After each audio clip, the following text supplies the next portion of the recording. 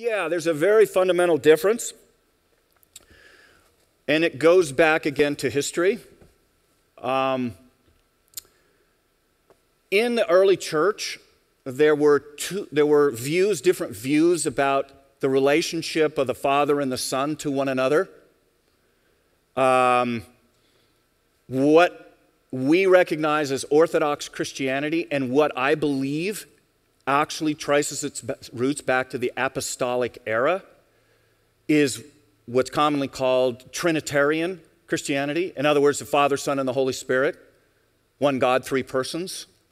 And, in my research, I believe that goes back to the original apostolic uh, group. Now, whether they use the same language that we do today or not is, is, is open to discussion but that they believed in the essential deity of Jesus.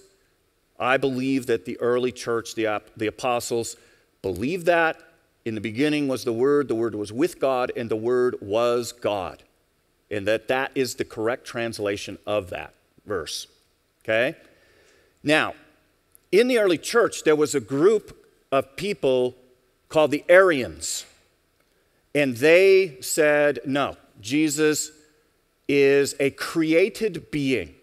He's not an eternal being. And this was the watershed. Is Jesus created or is he an eternal being? Has he always been or was there a time when he was not? That was, that was the watershed issue. What we recognize as Orthodox historical Christianity became what came out of the group that said, no, he is not a created being, he has always been. The Arians said, no, there was a time when he was not. Jesus is a creature.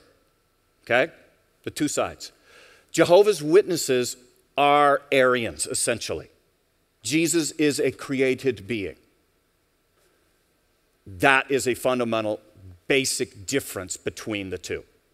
Okay? Now, Jehovah's Witnesses have other things that they really emphasize, which is the end of the world in all their prophecies and so forth, but uh, which, and they're the only group, and they think, then they've made specific predictions that the world was going to come to an end at a certain time that have not proven to be true. Uh, and I have some of the old literature where it's in the literature. We are predicting this, you know, such and such a thing will occur, and it didn't occur. So there's that side of it too that's, I think, really important. But if you want to look at theological differences, this was he created? Yes or no, that is a core theological distinction between traditional Christianity and Jehovah's Witnesses. There's others too, but that's what I would peg as the main difference or the, a substantive difference, if you please.